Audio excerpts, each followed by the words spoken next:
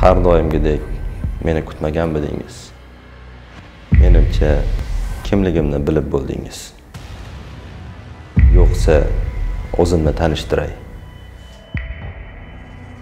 Ming yillar davomida allohga sajda qilgan va uning qullari ichida eng ulug'laridan bo'lgan edim. Mening chiroyim qalblarni lahzaga keltirgan. Nurim yulduzlarni xiralashtirgan. Men Allohga yanada yaqinroq bo'lgan. Eng yuqori darajalarga ko'tarilishni umid qilgandim. Shunday ham bo'ldi. Mening orzularim ro'yobga chiqdi.